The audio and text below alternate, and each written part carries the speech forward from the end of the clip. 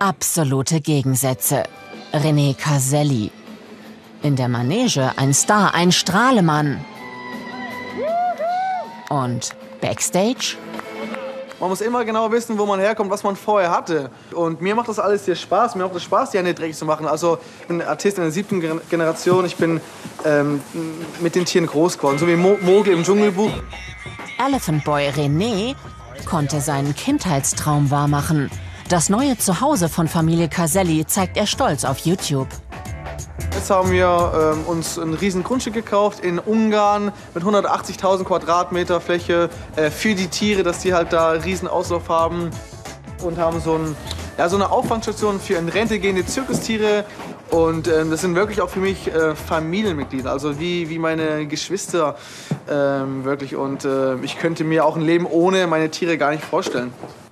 Beim Weltweihnachtszirkus gibt es diesmal neue Herausforderungen. Und hierher? Und? Ja. Oh. Denn nicht nur die Pferde, sondern auch Tanzpartnerin Katrin Menziger gehört zur Zirkusfamilie. Also Let's Dance in der Manege. So, ich bin mal gespannt, wie heute deine Suppe geworden ist. Gestern deine Lasagne war ja phänomenal. Ja, Bisschen crunchy, aber gut. Und, er hat halt nicht viel Zeit, wir sind den ganzen Tag am Üben. Seine Schwester Mary Lou kümmert sich in ihrem Wohnmobil um das Mittagessen. Also natürlich erst, wenn René die Pferde gefüttert hat, bekommen er und Katrin ein leckeres Süppchen von der großen Schwester. Kennst du den Gag? Ja. Wenn kein Besteck da ist, kosten Sie mal die Suppe. Ja, wie denn? Hier ist kein Löffel. Genau. Mary Lou kümmert sich auch kurz vor der Generalprobe um den kleinen Bruder. Rasierst du dich oder bleibst du so? Oh. Ja, oh. ja. Naja. Also hier in die Seiten, das geht, das ist so Der klein. hier auch beim Tanzen überraschend gut aussieht. Also ich bin sehr, sehr erstaunt, muss ich ganz ehrlich sagen, weil als wir als Kinder zusammen aufgewachsen sind, mein Bruder hat ja nie getanzt. Ich war immer halt mehr die, die getanzt hat. Mein Bruder niemals, auch auf Partys. Er stand dann eher in der Ecke mit einem Glas Wasser. Und als ich dann gesehen habe, was Katrin so aus ihm rausgebracht hat, war ich schon ziemlich erstaunt. Und dass er jetzt hier als Tänzer engagiert wurde im Weltweihnachtszirkus, das ist schon, ja, ich bin schon sehr stolz auf meinen kleinen Bruder. Trotz Renés Zirkusroutine, das Adrenalin steigt vor jeder Show. Und noch aufregender als das Tanzen ist die Akrobatik auf dem Pferd. Denn bei der spektakulärsten Nummer ist die ganze Familie gefordert.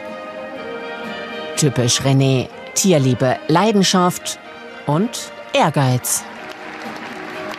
Ich bin ein Typ, wenn ich irgendwas mache, will ich immer was Außergewöhnliches zeigen. Irgendwas was bringen, was es noch nie gab zuvor in der Welt.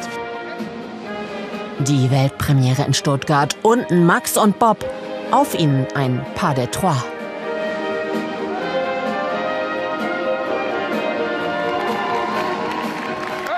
Wenn du im Zirkus groß wirst und da dann seit klein auf irgendwie vom Publikum performst und dann du Applaus kriegst, das ist irgendwie so ein Balsam für die Seele, das größte Geschenk, das du so als, als Künstler bekommen kannst.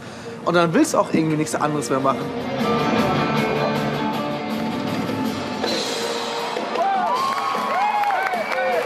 Und wenn man dann noch ähm, Tausende von Menschen ein Lächeln ins Gesicht zaubern kann, dann hast du eigentlich alles erreicht. Bis zum 8. Januar will René Caselli das Publikum in Stuttgart verzaubern.